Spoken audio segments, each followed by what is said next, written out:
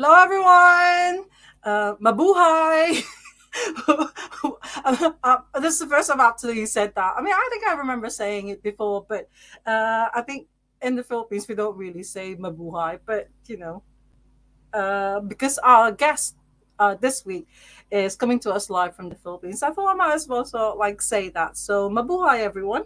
Um, so it's Sunday once again. It's actually just uh, we still have like two minutes till two o'clock in the afternoon here in the UK. Uh, but I thought, well, last week we were late, so we're gonna start early this time. It's also nearly ten, nearly ten o'clock in Manila, which is a bit late. So I thought I'll start early so we can finish early because you know it's it's it's late. It's like uh, bedtime in Manila now. So um, magandang gabi, uh, Pilipinas. Um, welcome to another episode of Ask the Drummer so like i said earlier this week our guest is coming to us live from manila and i'm really excited about it because it's been a while since i had um, a filipino drummer guest on ask the drummer. Um, yeah so um, i'm excited about chatting to him you know mainly about the manila music scene or the philippine music scene and of course uh, his drumming career and everything. So um, talk about the motherland. So, my dear friends, uh, please welcome Ivan Brodeth. Is that Olga? oh my! Did I? Do you know? I forgot to ask you before um, coming on live. But um, is it Brodeth or Brodeth or how do you say your name? It's uh, the second one. The second one was correct. Uh, Brodeth. Yeah. Brodeth. Okay, so it's Ivan Brodeth. How are you, Ivan? I'm good. Yeah, uh, it's a bit late, but uh, you know, I can still do this. Yeah. Yeah. You know, gigs gigs start late, so you yeah. know, I'm used to this, man. like musicians or like times. um, what's the weather like in Manila at the moment? Because I've seen some people posting on Facebook that it's actually quite cold. It's like December weather or something. It is right. Um, I would I'm not sure in comparison with the UK, but uh, of course it pales in comparison. But um, it's uh, it usually is 36 uh, here degrees Celsius, but uh, recently it's been around 20s, uh, so 28, 27. It, it it's uh, it's cold. Yeah, yeah. yeah. Uh, yeah, it's it's funny because sometimes I've seen one posted a meme that you know um uh, Jose Mari Chan. it's like when it starts to get cold, it comes up. It's like, hold on, it's only February. right. Because it's yeah. still cold, right? yeah. Well, it's still not t-shirt weather here in the UK. I mean, I've got to sort of like use another, you know, like a, a turtleneck inside my t-shirt. So, um, yeah. So I just want to give a shout out to Mondo Mondo Castro, your bandmate, uh, for the introduction because um, you know it's really him. I asked him who the drummer is, and he told me that it's you. And also um, Alvin Santiago. Uh, he also recommended you to um, ask the mm-hmm. drummer, so I just want to say hello to Alvin as well. Um, right, so welcome to Ask the Drummer. Uh, episode 114 is all about you, Ivan Brodeth. Um, mm-hmm. uh, first of all, so where are the Brodeths from? Because it's quite an unusual name, isn't it? I get asked that a lot, actually. And um, I hate to say it, but I do not have an idea. it's it's it's unique. Um, but um, my grandfather was from Iloilo, so in the Visayas. So maybe yeah. I have some, you know, a clan there. I haven't visited, and I don't know. It sounds foreign, right? It doesn't it does. sound Filipino. Yeah. it intrigues me, but I haven't really met uh, the same last name or even um, something similar. So yeah, I've worked in Citibank and Deutsche Bank, but no Brodeths anywhere in the world. oh right, yeah, because I thought maybe you've got like uh, I don't know, like uh, what would you say, foreigner? Yeah, but maybe um, yeah, because it, it does sound very foreign. Your last name. But Yeah. you're from Iloilo. That's is that what uh, the Yeah. like the ancestors are from Iloilo. But you are you um, born in Manila Yes. And Yeah. born and bred in Manila, so proper Yeah, Manila. Yeah. Since, yeah. yeah.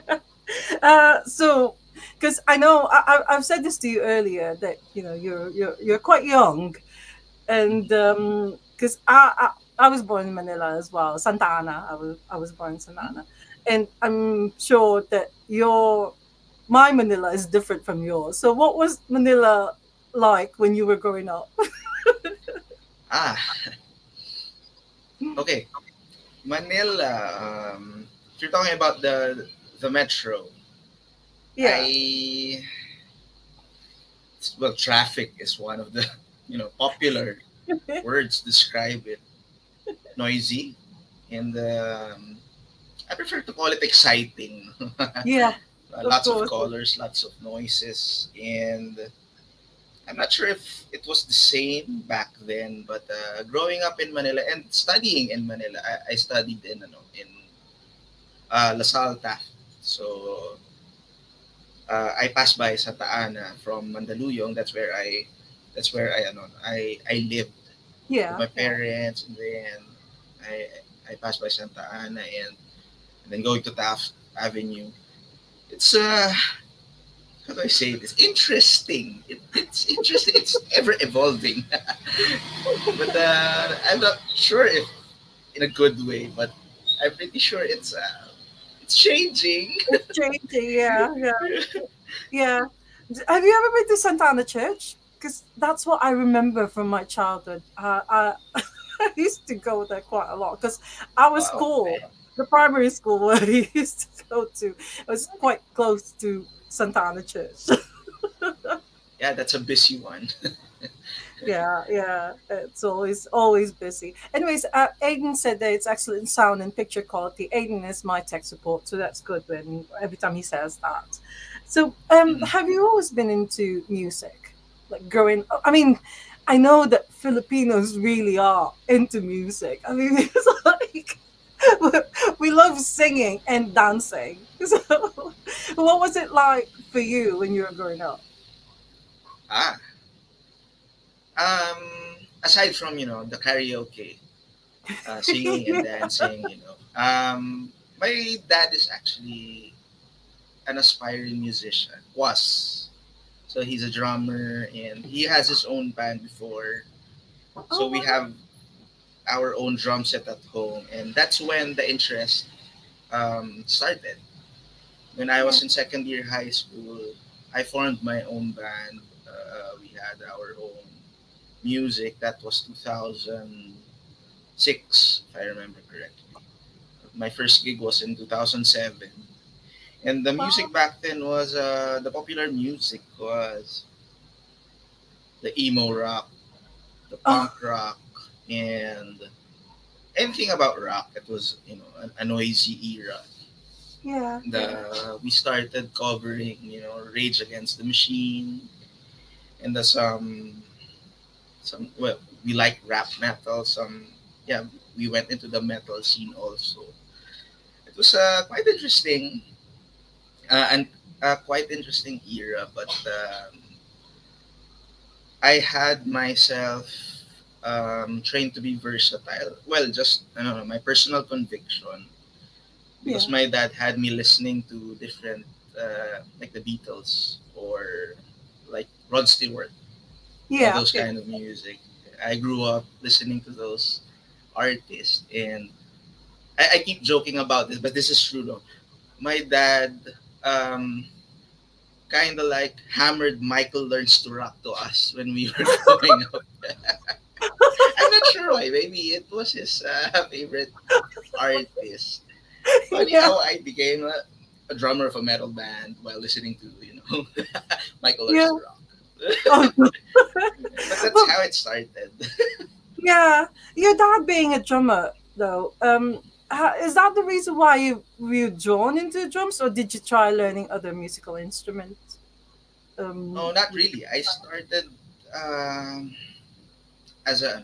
Uh, I started my first instrument was actually piano. So, ah, yeah, yeah. I started learning the basic chords in the piano. We have an upright piano at home also. Yeah. And then I didn't like it. It wasn't for me. Yeah. yeah. Yeah. So then I played the guitar. I tried uh, playing the guitar because my my older brother and my older cousin they were playing guitar like every day, every single day. There's an acoustic guitar, so I tried that. I, I like it, and then yeah. uh, got into bass also because it was related to each other. And then the electric eventually, my mom bought me one. But um, eventually, I was led to you know playing the drums.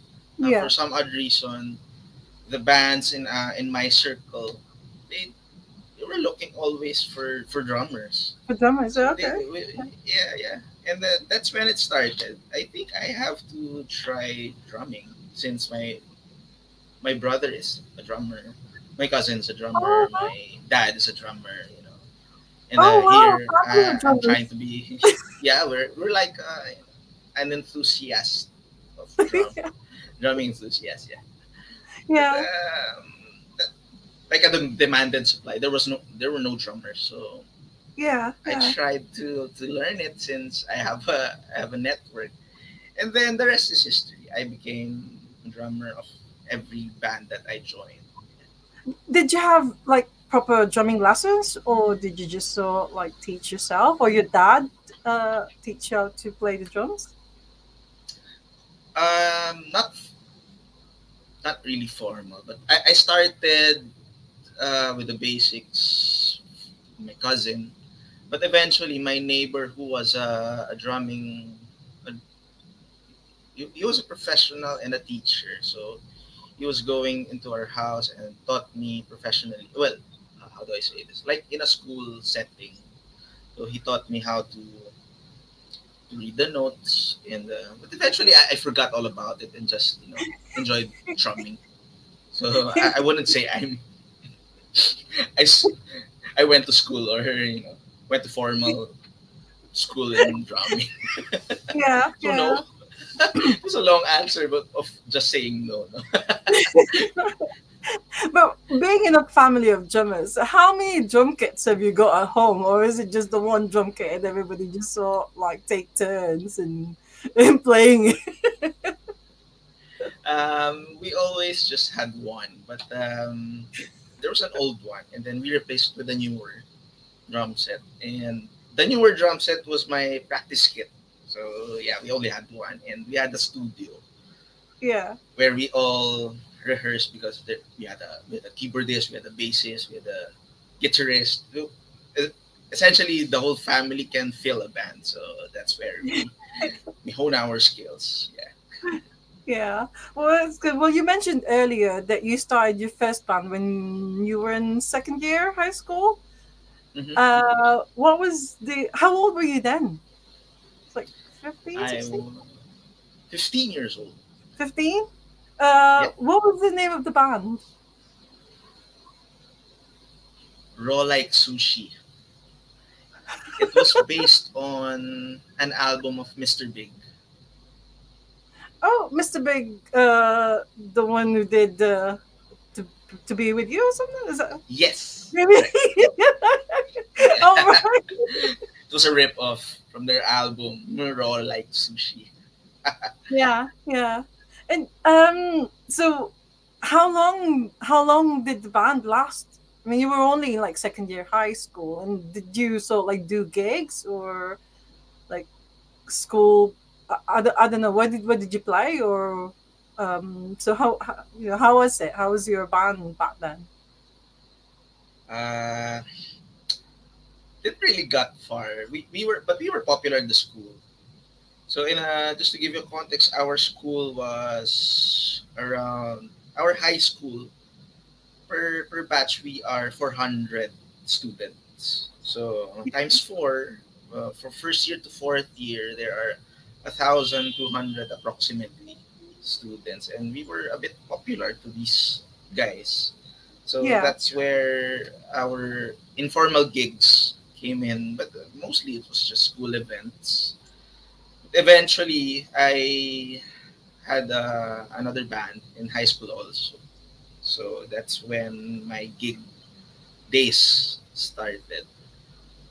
Oh, okay. Uh, different from Raw Like Sushi. It's like you Yes. got another another one, and you also the drummer of that band as well. Yeah. Yeah. Were there any sort of like conflicts to having two bands or like uh, at the same time? Like I- drumming, like practices and stuff. Yes. because our vocalist in that band is also the vocalist of Raw Like Sushi. So, you know, Oh, I see. yeah. So, you know, high school is very emotional phase of our lives. So there were um, um, frustrations here and there. But uh, eventually, the Raw Like Sushi uh, was dissolved, and this band, um, it was, it's called, uh, sorry, it, the, the, the name is, uh, the name of the band is UTR. It sounds like UTI, you know.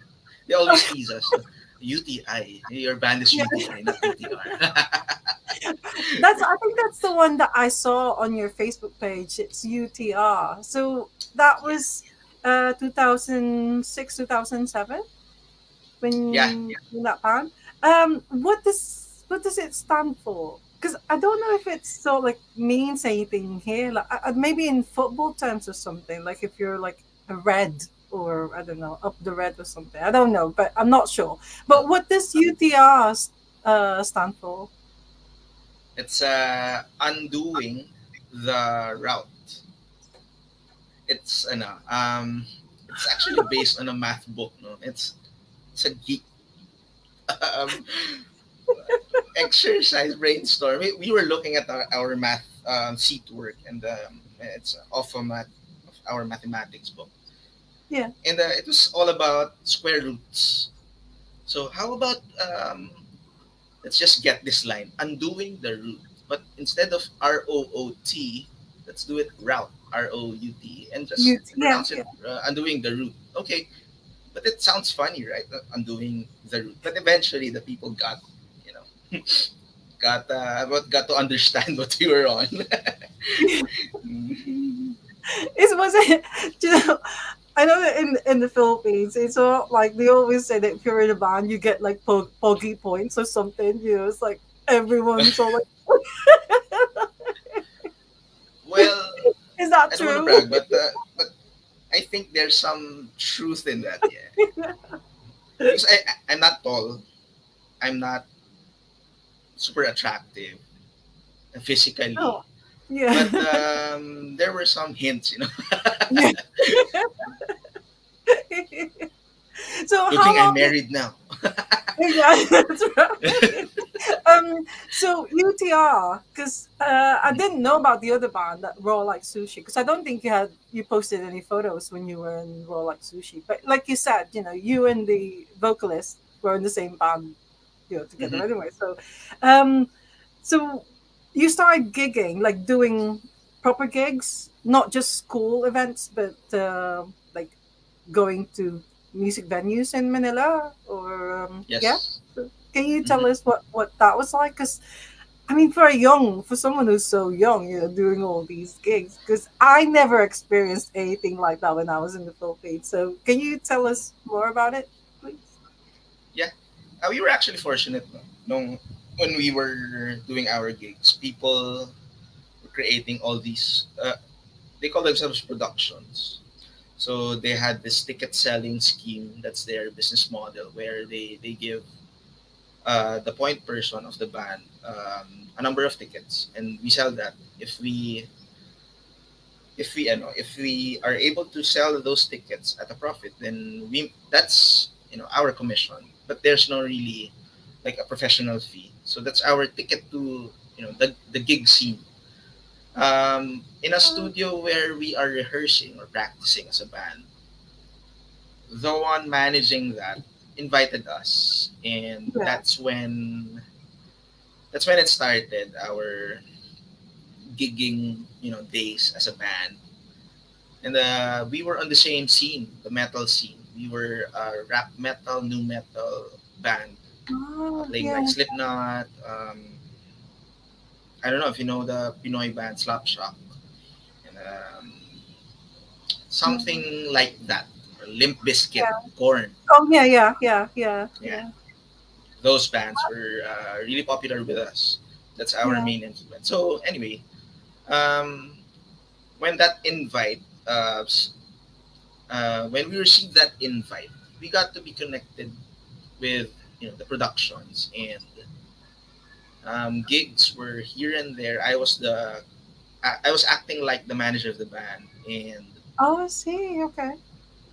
yeah uh, we went to gigs like into i'm not sure if you're familiar with Saguijo uh, it was like the Club Dredd of our time Oh, uh, okay. and also yeah that's in makati it was uh, uh, it's still no it's still going on right now it's still open in the it's still um, one of the classic i would say uh, classic bars Yeah, anyway. yeah. But um, you were saying that uh, I, I I was young for Violent Playground, but during that time I was in high school doing all those gigs. The reason why those productions um, were approaching us because we were too young, and we are well. They say that uh, wow, you're good. Okay, Yeah. um, can we invite you to our uh, to our event? And we we went to ticket selling to being invited to debuts or uh, how do I say that? Um, I'm not sure if you celebrate debuts in the UK. Yeah, yeah, Essentially, like the 18th, 18th yeah, birthday. Yeah, 18th Yeah. birthday. Yeah, yeah, yeah, Yeah. yeah. Uh, uh, and um, weird because I, I just said metal band, but uh, getting invited to the 18th Yeah. birthday. But uh, they, they usually request like um, like Ke- Kelly Clarkson to, for us to cover songs Oh, or something Okay. like yeah that's weird but uh, they like our bands okay Yeah. that's an important thing But Uh, if that was then- the genre, if that was the genre of you know that time, then maybe quite a lot of the young ones who were at that party would be, you know, so like could relate to it. So yeah yeah, and uh, we were able to to introduce also our songs our original songs in a in the correct venue because uh, we had um there were two portions like the dinner the formal you know the formal dinner and then there was a, after party the after party the the guest actually invited us to "Ah, let's play your metal songs come on. It's after party. There's no boundaries anymore come on. Okay. Sometimes there's mosh pits in the, in the in the event and you know everyone's wearing formal suits. Yeah. and you'll see people pushing each other. It's, it's really fun we were high and uh, it's like a mosh mosh pit with so like all these uh, young people wearing gowns and so like formal clothes and things like that. Yeah. But right. I mean, I mean that that's really interesting. So you also you also did not just cover um, covers, but you had your original songs as well. Um, were you did you um, release those songs, or were you able to like get them out, or um, any of like uh, any interest from the record record companies in in the Philippines? unfortunately after high school we weren't able to record our songs.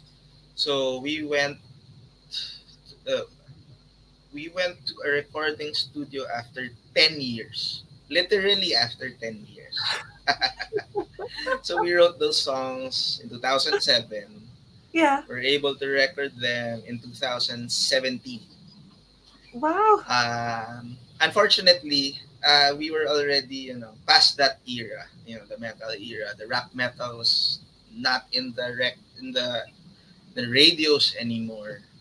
Yeah. So we went ahead and became an independent artist. I released our songs. Uh, the, we recorded three songs because our bassist had to leave for his studies in the states. So we had no bassist. Um, we cannot replicate his sound because he he he did not give us his bass for the rest of the recording. Yeah, and that we totally understand. It was expensive equipment. so anyway, um, we had three songs. It was supposed to be five songs, but um, unfortunately, we weren't able to complete that five song EP. So we went ahead just um, uploaded the three songs. But I'm not sure if it's still available in Spotify because I did not pay for it this year. Oh, see. Uh, Okay.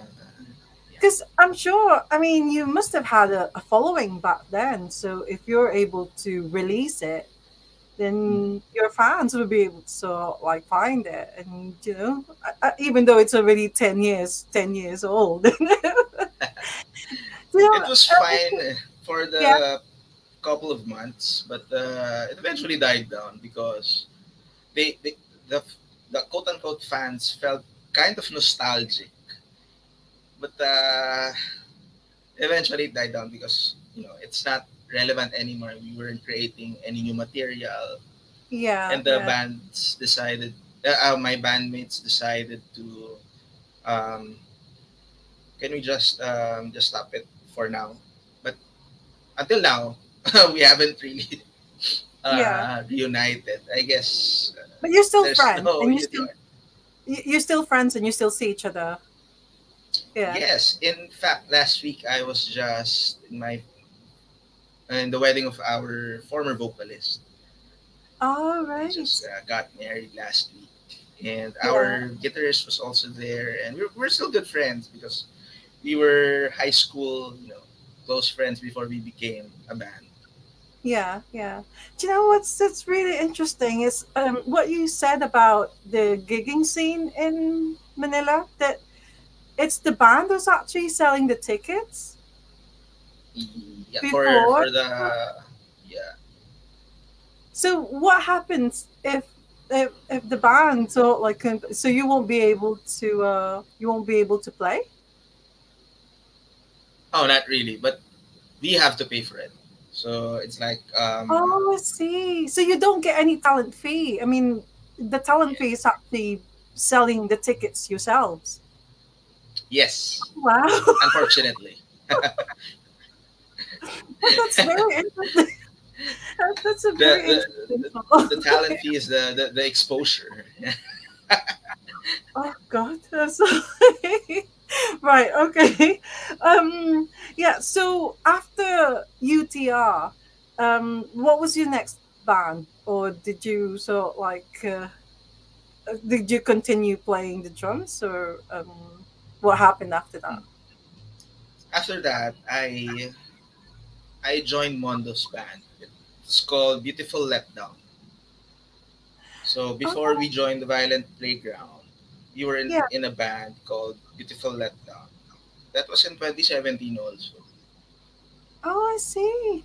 Oh, I didn't know about that one because I know that Mondos is in a band called the Pinup Girls. Is it the Pinup Girls? Yeah, the pinup. Yeah. Yeah. and they've just released um, their their album as well on vinyl. So what what's what's that band with Mondo like, and how long did, did it last? Uh, if I remember it correctly, it was just uh, short-lived, around a year. Um, we did not know each other, so we had to build our relationship. And Yeah. Mondo was a stranger to me. He, my fr- our common friend, uh, recommended me because Mondo was looking for a drummer. And he recommend my friend recommended me to to join Mondo's band, and eventually we got to be connected with each other. Yeah, Uh, we played. Um, I think we had uh, four original songs. Um, when I left the band for personal reasons, uh, they were able to secure uh, Police Records, if I remember that correctly. all right, okay. They, yeah. yeah. They released a single, and um, unfortunately, it was just an acoustic uh, recording because you know I, I left the band. yeah, yeah, yeah. But but we were So- still good friends. Yeah, because you're now in sort like in, in the band together in Violent Playground. But before I ask you about um about uh Violent Playground, so you've always been so like right from like when you were a teenager, you've always been a part of the Manila music scene. Because Yeah. I mean that's the one thing that I wish had done when I was still in the Philippines, you know, when I was living there, but we weren't allowed. You know, it's different. I think it's different for girls. it's Oh, uh, Joe Jackson, so like uh, I think it's a Joe Jackson song or something. But it's it's different for for us because we weren't allowed to actually so like go to all these gigs and go to music venues and things like that. But so how involved were you uh you know in, in the scene apart from having your own band so did you do did you go to a lot of gigs like did you see a lot of bands um you know when, when you were a teenager Hmm. Well, it was. It happened at the same time when when I started doing gigs. That's also the time when I started seeing bands. But Yeah. before that, um, my first exposure to to live music was you know, the Battle of the Bands. That's a thing here, right, in the Philippines. yeah So there's a battle of the bands in school, battle of the bands in you know in villages, and here and there, you know, in fiestas. There's also you know their own battle of the bands. Uh, the reason why uh, my brother's band always joined the battle of the bands, so I was exposed to that, and when I do gigs, you know, um, I I think it's a bit different doing Battle of the Bands yeah just doing gigs. Because doing gigs uh, is mostly just enjoying music, your Yeah, that's- music and others' music, right? yeah yeah yeah it's true. Um right so what we're going to talk about because this is really i mean this this is the one thing that really caught my attention is um violent playground song tupperware party. Because whenever i go to work i work on saturdays in a record shop in manchester and um i always have wxb 102 mix lr on whenever i'm working. So and every every saturday or mainly so like maybe every other saturday but definitely i always hear tupperware party and i didn't know who it's by at the time. It's like i had to actually post it on facebook to ask people who, who was this? Because i thought it was like a uh, someone like maybe the members or i don't know dr feelgood or something like i thought it was a foreign so like a, a foreign song because it's such a beautiful it really is beautiful. Now um, violent playground i had a look on uh, google. Um, i think their album primordial soup Mhm. was released in 1996 but the band was actually from the 80s i believe Yes. I mean, I didn't know that because when I was in, in, in the Philippines, when I was still there, I, I know the Dawn, of course. I Mhm. think you know that's like the biggest, and and Yeah. um, Identity Crisis. But I realized that there was an album called uh, Ten of a Ten. Hold on, Ten of Another Kind, and the Violent Playground song Tupperware Party is included in that one, and that was released in 1989. I, I, I had no, I mean, I had no idea about this thing, but 1989. Were you already born by then, or how old were you? no, not yet. I was born in 91. Right. So, how did you end up playing in Violent Playground? Good question.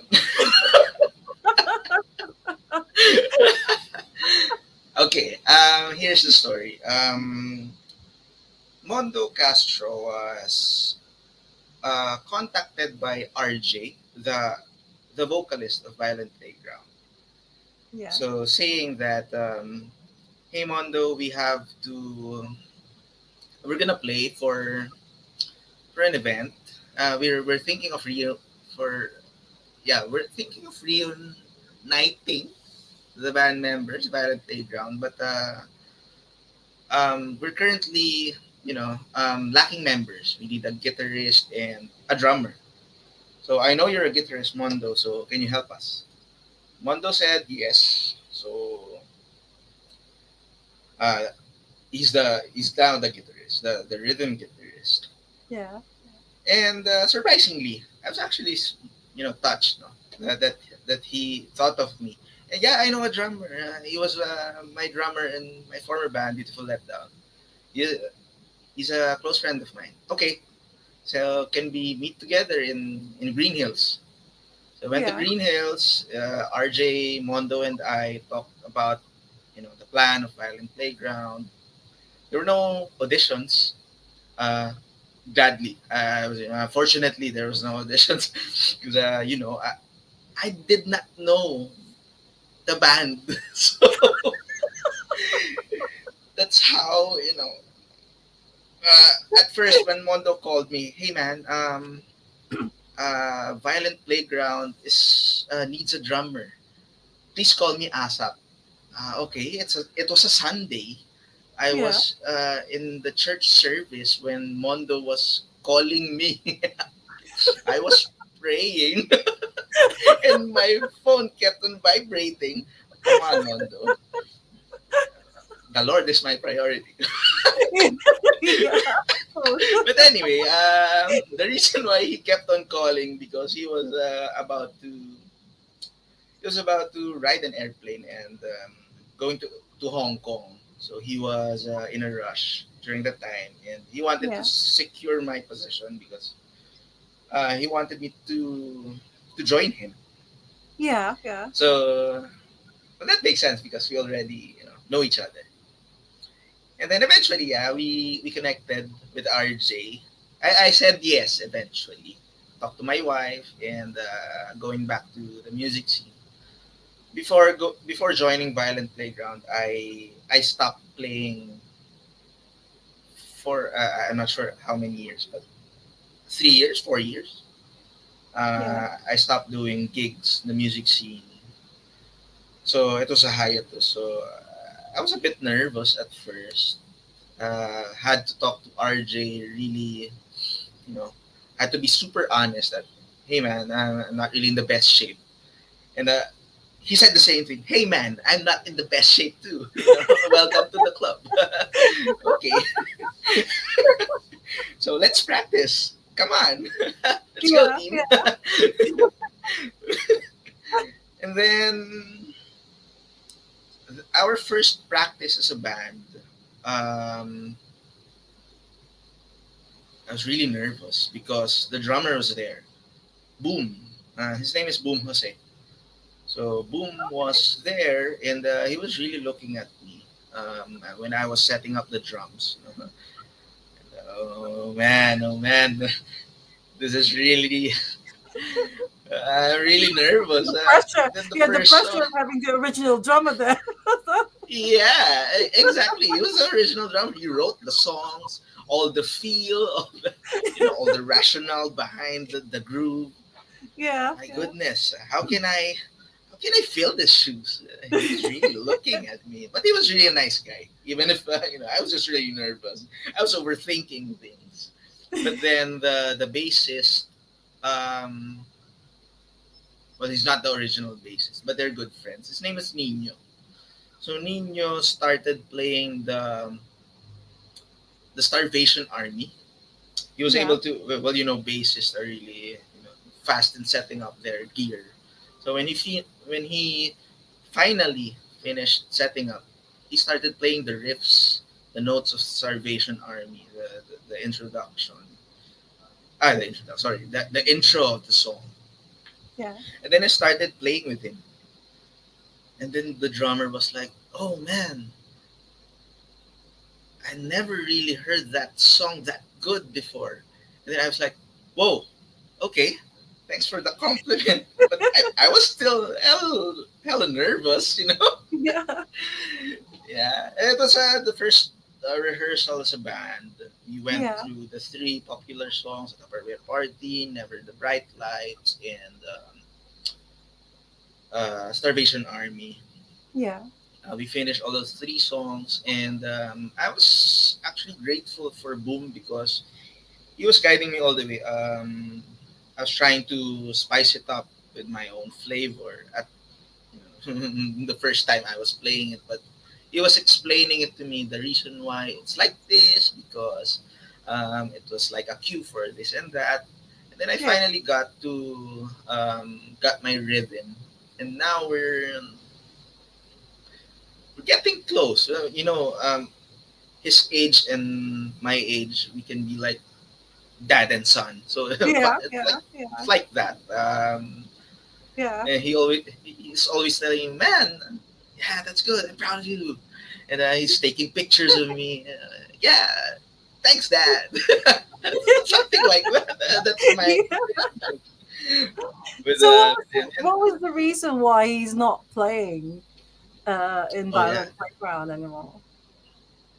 um, his press release to us was that you he's not able to practice at home anymore, and uh, he's also got work commitments uh, to a point that it gets in the way of his practicing. So, Oh, okay.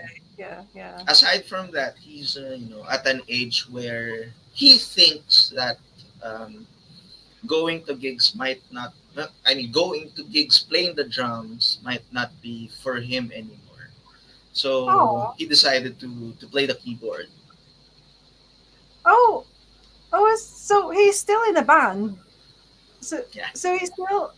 Oh right, I didn't know that. So he's still in the band, but he doesn't play drums. It- oh, I see. oh wow. That's the the reaction of the fans actually. Oh, Boom is still part of the Violent Playground, and then they see me in the the, the drum set, uh, and then I can see the people's faces. Where's Boom? He's right there, side of the stage. I mean, I remember Mondo um, posting it on Facebook. He's really like happy. He's very pleased that he became a member or he became part of Violent Playground. So, uh, what's it, what's it like for you? And also, um, how long did it take you to rehearse or you know all those songs? Because those are already like established and people know those songs already. So, what did they do? Did they give you a, a CD or or did they give you the notes or whatever? So so how did you practice for um, they gave me links, uh, Spotify. So um, apparently, it was uploaded in Spotify. The the whole Primordial Soup album. Um, we practiced five songs in a month, and then after that, uh, we had our informal gig. It was a secret gig. We we decided not to make it public, but uh, it was like a practice gig yeah, uh, yeah. because uh, the, the original members were not comfortable yet to you know play in the scene again. yeah. Um, yeah, And um, you mentioned that uh, you talked to your wife before actually agreeing to uh, become a musician or become a drummer again. Um, well, what what was her reaction when? I mean, uh, I just presume that she actually came to the gig and saw you play, and so was she happy about it? What, what was her reaction like? so you're being all Um, these fans, so like, welcome back, Violent Playground, and you're now a member. funny thing, my wife hasn't um, been to one of her gigs because um, she's pregnant. So Oh. you know, yeah, oh, I see. Okay, yeah, yeah. yeah, we're First expecting. baby? But Is it first first baby or is it your second, second baby? Oh wow! Yeah. When is she due? Uh, anytime soon. She's uh, 38 weeks, so Oh, we only have two weeks at at most. Overdue. It's overdue, yeah. It's like yeah, anytime, yeah. you, you need to be ready. I hope it's not during this podcast. It will be finished soon anyway. So I hope so, but uh, you know we have time. Don't worry. No contractions yeah. yet. Good news. well, Aiden, Aiden said that Violent Playground is a thriller made in Liverpool in 1958. I didn't know that. Because, you know, when I Googled Violent Playground, there's actually another band, mm. an American band called Violent Playground. And apparently they're like thrash metal, which is more, mm. I think, your scene. it's more your scene than, than the violent playground Philippines. Funny. yeah. yeah, because um, I noticed on Facebook that it's actually called Violent Playground PH, which is yes. like I think in, in, in America, when people when bands like the Chameleons, they have the Chameleons UK or the Mission UK, things like that. So yours is now Violent Playground uh, PH. So yeah, yeah. yeah. Um, well, I, am really interested about about uh, this because, like I said, that Tupperware party. I mean, what what's the reaction like? You know, whenever you play that, because uh, the drum parts in that is amazing. The drum and the bass as well. So, so um, what's the reaction of the fans whenever they play it? Um how do I say it? They dance to it. They dance, they dance the yeah, yeah. Yeah. Uh, I'm not sure why, but um but they do dance to the song. And uh, in our last gig, it was uh, in you know Aquino Stadium. There was actually a big stage, and people started to. There were a handful of people who started dancing, and um, those dance moves were not familiar with me. Maybe it was uh, you know back in the 80s or 90s. but then it, it intrigued me. I, I, was when I was still while playing the song, I was thinking, huh, good moves, man. and it was a lot of pressure to, um, to play the groove. It was a simple groove yet uh, full of heart. Uh, you have yeah, to. Be in lockstep with the bass you have to understand the whole Tupperware party concept. You have to, you know, listen to it intently. Why is it uh, structured this way? And when I when I started reading, you know, the lyrics, it was funny. It was really funny. yeah. And that I think was the reason why people danced to it. It's just it's a Tupperware party. right. The band, uh, uh, I'm not sure if this is right, but did the band reunite just for that uh, New Wave invasion, uh, invasion event last year? Or was there already a um, mention of the band reuniting even before that uh, before that concert in the Philippines? Mm well, it was the catalyst. Um, initially, they wanted to just finish that gig. But uh, before the New Wave invasion, we played in a handful of gigs. The the members enjoyed playing gigs again. Yeah, yeah. Uh, the, the passion was reignited. And now there are talks of uh, recording new songs, re-recording old songs, That's making a music video, and uh, yeah, yeah, making like a documentary, something like that. But uh, nothing's still in the works. It's still in the paper. It's still in the drawing board. Yeah, but, yeah. Uh, it, it's it's exciting because I've never been in a band that you know, thinks that way, and uh, that's how you know I I think about uh, the whole thing.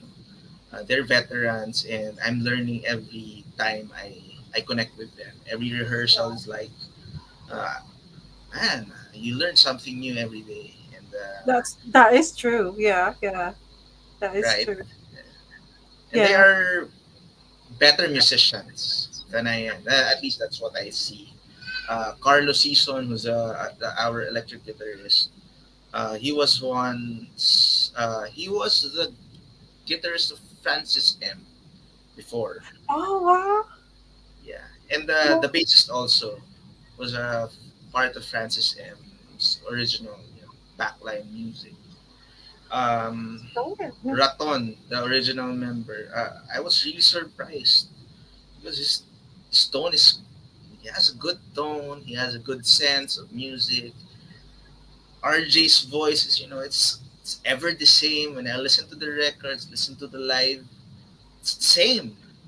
And yeah. when Boom uh, was coaching me, started playing the drums, man, you should be here and I should be there just watching you. You're a good drummer. But, uh, you know, yeah. anyway, they're all good. They're, they're great guys, and I'm learning a lot from them. The um, I'm just conflicted, you know. Um, as a Filipino, if I should call them Tito or Kuya. but they don't want that. No. they don't want to feel old. They want to be. They want to feel young. so I decided to just call them by their first name. And but if, yeah, of course. Cool with it. yeah. yeah. Well, what was it like for you? Because when you did New Wave Inv- Invasion, uh, I think that was the time when Peter Coyle was there and Steve Kilbey uh, Frank yes. Kearns, and a flock of seagulls as well. So were these the sort like the musicians you listened to, or were you were you new? it's all like new today, so it's like new wave. I mean, what's that? What's a new wave invasion? Honestly, uh, when I saw the when I saw the the poster, my reaction was, who are these guys? I don't know these guys. So I did my own, you know, diligence researching because it was a big deal for Raton, for our bassist Nino, actually yeah. for the whole band. It, it, it, was a big deal, and I was just, uh, okay, who's Peter Coyle? Steve Kilbey. and I started listening to, uh, to their music, it's quite enjoyable. Yeah. It was not my era, of course, but uh, no. it's good music, especially Peter Coyle. Uh, I was surprised. Uh, his voice is, you know, really good, especially yes, live. Yeah. It was still, yeah. it was still excellent. Yeah, it's so he sounds pretty much the same as if you're listening to a record or so. like, yeah. exactly. I saw him. I saw him recently. It's absolutely amazing. But new wave in the Philippines, even though it was so like you know my generation, like in the eighties, but it's very much alive um, back home. I mean, mm-hmm. there's quite a lot. So I think they're gonna do another invasion soon or something, or sometime this year, I think. So uh, are you gonna be involved as well? So what's what's the uh, like latest or anything planned for Violent Playground? Mm-hmm. Uh, we don't have a, a full list yet, but uh, there are invites of uh, upcoming gigs. But the confirmed one we have on Feb 26 that's a Monday for that's that will be in 19 East Sucat. And uh, there's also on March 5 on the same venue, 19 East. Yeah, yeah. Because mm-hmm. um, I think Violent Playground, you could you, I think it's considered as a new wave band, right? so that's what I. That's what I know. Yeah. yeah. So when when you do the when you do these gigs, do you um actually get um a new fan base like uh, with you there being young and so um like I know a lot of the uh, the new wavers go to Violent Playgrounds or like gigs, but do you also get like new fans? I'm not sure if I can call them new fans because I really didn't wasn't acquainted to the to the old fans. But uh, anyway, but I I see some of my you know my my age in the scene and you know they were uh, please sign my album, Raton, please. Yeah. Can I take yeah. a picture with you? And uh, I also invited my friends, and they were like, "Wow, you, Violent Playground." I thought, you know, uh, listening to the Spotify, it won't be this exciting, but man, it was really good. Okay, so for millennials, I think we can get new fans and you know introduce a new wave again to the to the masses. So just hope. But um, yeah, I think to answer the question, there are new fans, and um, it's quite new to me because no one has really asked for my signature. but it was the first time uh, in our in one of our gigs. Yeah, yeah. Funny because uh, some people uh, wants me to to take the picture of the you know with the with, with the original member. For example, there was a there was a um, instance where, hey, uh, can you take my picture with Raton? And Raton was you know smirking because He's bro, the drummer. they, they, they did not they have no idea he's a drummer, you know. you know that he's the drummer now, right? so yeah, yeah. Um, I just find it funny, and I just tell them, um, well, they won't be. It's a good surprise later when we go on the stage and they'll see me. Yeah. Well, did you not get that same reaction when you were in UTR, or maybe in those days people didn't really take photos? Or They weren't really a big deal, but um, there was a following. So Yeah. since it was a small fan base, we were like uh, really friend. We got to be friends with them. Unlike you know this level, they think that uh, I think I think that the difference now is that Violent Playground has already established who they are. yeah, yeah, yeah.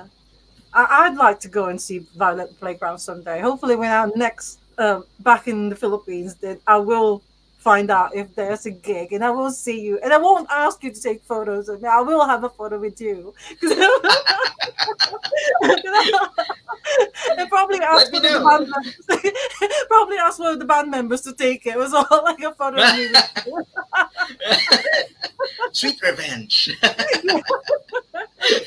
Right, so but you mentioned you, you mentioned that um there there are plans of sort of like writing new material and recording and uh, but is there a plan of um reissuing primordial soup on vinyl maybe because Yes. a lot you know a lot of bands are doing it uh so uh, are you doing it this time or Uh, something's cooking in the Oh, vinyl brilliant. Uh, yeah, I, I think they'll be releasing it soon. So, Oh, that's so good. yeah. Yeah. yeah. that's something to look forward to. And uh, the gigs at um, 19 East, you said, yeah? Yeah. Those, those will be, um, yeah, that's, that's, that's brilliant as well. So I've still got a few questions to ask you. Uh, Mhm. But, oh, yeah, the, the regular questions that I ask. But first, do you get recognized now that you're in Violent Playground? Like, you know, uh, when you're not drumming, I mean, what keeps you Ah. busy? Are you sort of like, you know, like go to work and then do people recognize you? the the one active in the music scene, yes, but uh, in we're not really in mainstream per se. So the one who really follows the bands, sometimes Yeah. sometimes they, I notice that uh, they're looking at me and then they'll approach me. You're the drummer of Violent Playground, right? Uh, sometimes my, my I'm thinking of something, and then someone's someone's approaching me. Violent Playground, Violent. Uh, uh, yes, yes. so yeah, yeah. Th- there were some instances, and um, funnily, one of those instances was a was a coworker of mine, and uh, he was surprised. He was. Uh, I thought you just look like him. Man, that's me. so you're getting used to sort of like people asking you for photographs now, uh, photographs and signatures. no, I still get you know awkward and shy. I, am not used to it yet. Yeah. I hope it doesn't um, go away. yeah. I want to be that way. Yeah, because in, in Manila, I think I've seen it on Facebook uh, loads of times that you know it, the Filipino fans they also like to have photos with uh, like the musicians, you know, like the mm. bands they, you know they've been to see and things. So it is quite active, the fun girling or the fun boying. like thing yes. in the so, yeah. I would say. yeah.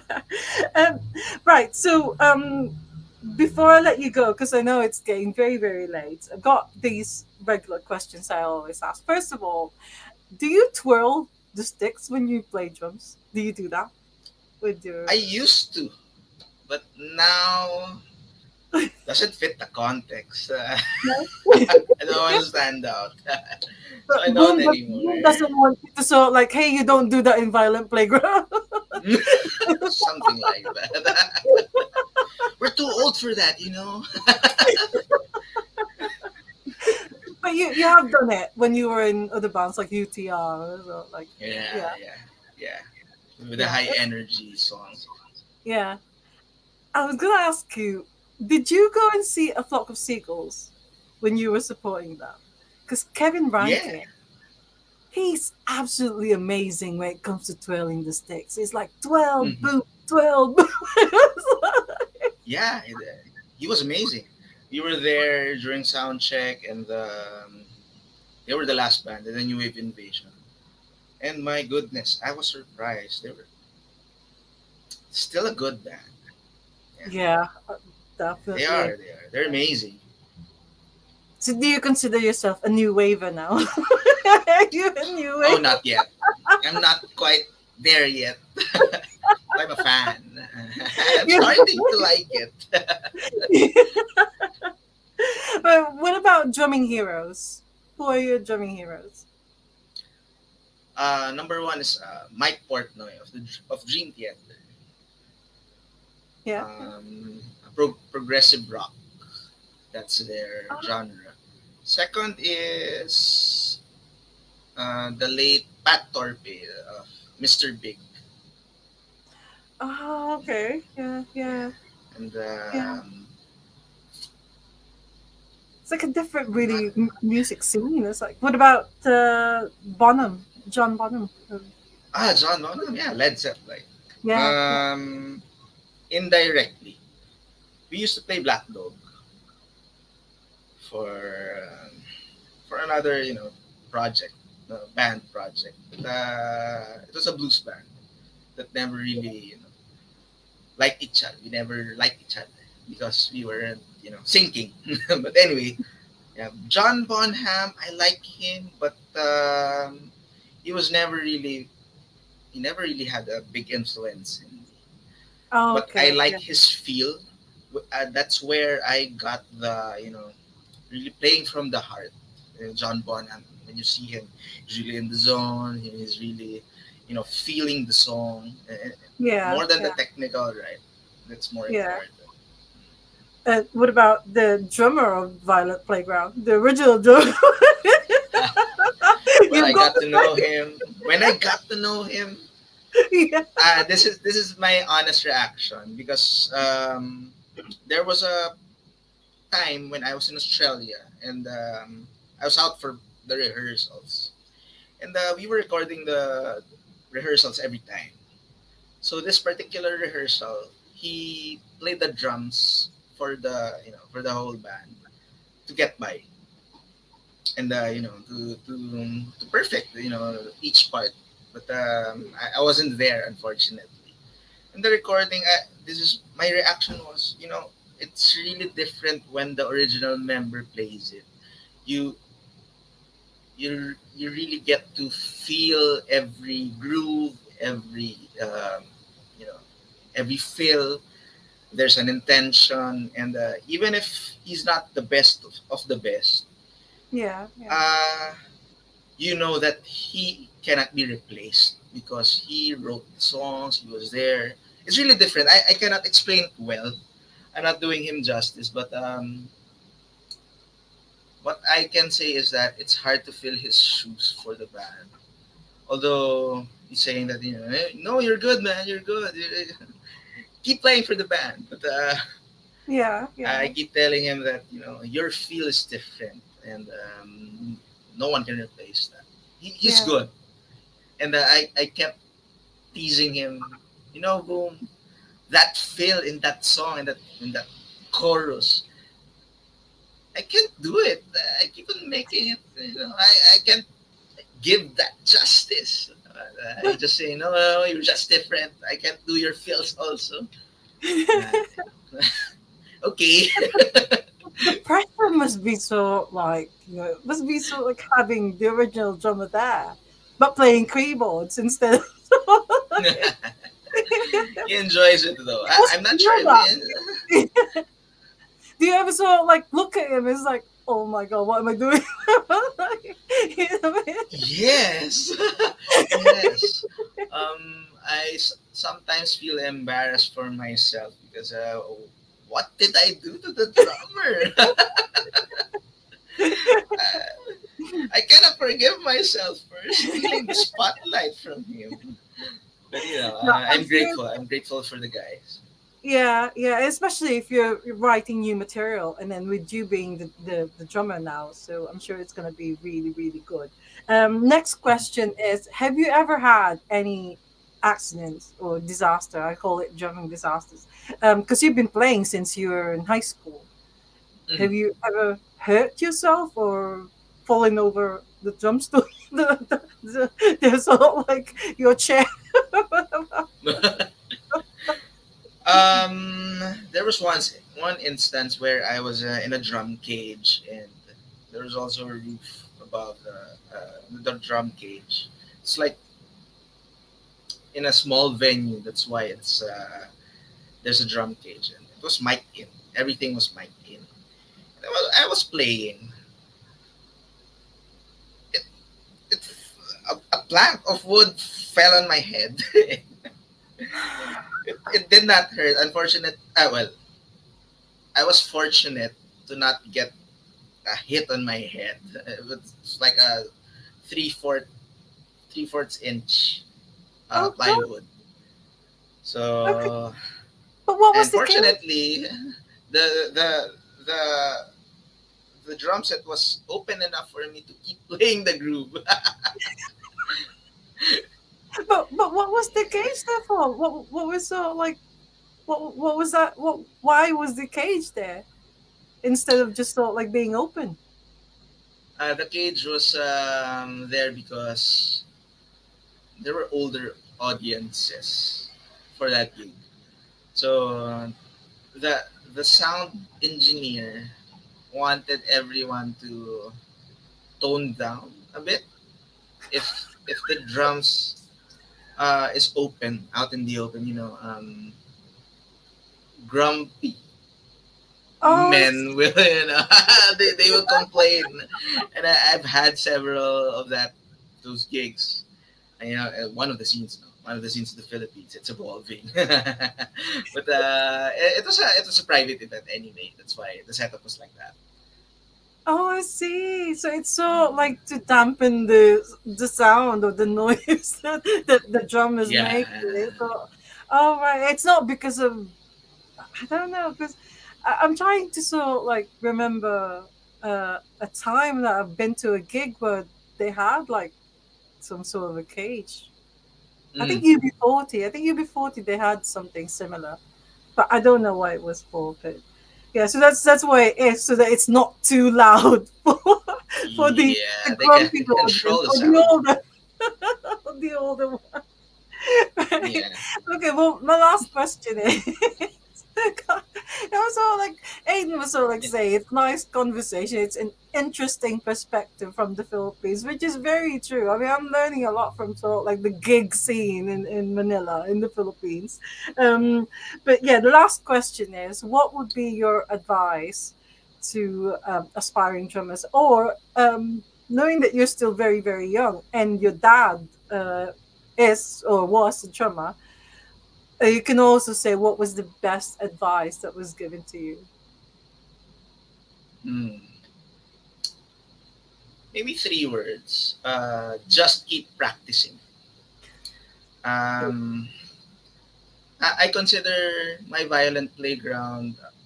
Um, I don't want to call it stint now. Journey, violent playground journey, as a breakthrough for me. It was a was a big deal. It is a big deal for me. So yeah. I just kept practicing and practicing until you know um, I got an opportunity. If I stopped practicing, uh, I would have I would have been you know in a different path. I wouldn't be drumming for Violent Playground. Yeah, yeah. I stopped playing. Yeah. Yeah. And that's very good of Mondo as well to so like think of you when they were looking for a new drummer. So yeah. yeah, touched actually. Yeah. yeah. Well, I wish you all the best, and I'm I'm really looking forward. So, like, I don't know when I'm gonna be back home, but uh, I'm definitely going to go and see Violent Playground next time I'm back. Hopefully, you're playing um, when I when I go back home. Um, so, do you want to just sort of like in, invite um, our friends in the Philippines, so like uh, you know, to your gigs? Uh, uh, East, yeah, East 19, 19 East. Sorry, 19 East. 19 East. Yeah. Yeah. Yeah. Sure. Uh, hi to my Filipino friends and fans, uh, even strangers. If you're free on February 26, I'm inviting you to our gig, 19 East. Come see us, Violent Playground. We're back. yes.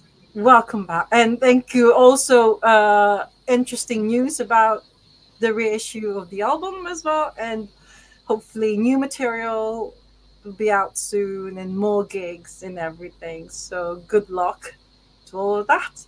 And thank you so much, Ivan. I really, really enjoyed it. I mean, I know it's mm-hmm. late, uh, bedtime for you now. so, yeah. and say hello to your wife, and you know, hope it's a, a safe delivery, and you know, Good luck. Do you know if it's a boy or a girl? Do, it's a girl. The girl, and the first yeah. one is the uh, first one is a girl also. Oh, two girls. Brilliant. okay. thank you very much, well, Yeah, thank you. And uh, well, good night. I'm not going to say enjoy the rest of your weekend because the weekend is finished for you now. So good night. And thank you so much. Hope to meet you someday soon. All right. Take care, Armand. All right. Bye. Bye. Uh, thank you so much, everyone, for joining us live. That was really, really good. I mean, I, I like talking to um, drummers in the Philippines because I do get to learn about all these so like wonderful, wonderful things in Manila that I never experienced when I was there.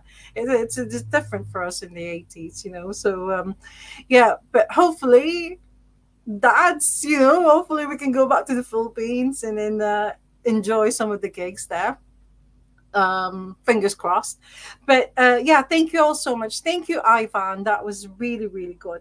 And uh please keep an eye out for next week's guest announcement post. It's going to be another awesome drummer for next week. And as always uh love music love life love love love drummers. They're just absolutely amazing. And good luck to Violent Playground. I'm really a fan of that Tupperware Party. That's just an amazing sort of like song. And for my non-Filipino friends, if you haven't heard of that uh, that song, uh, go on YouTube and check it out. It's Violent Playground Tupperware Party. It's such an amazing song.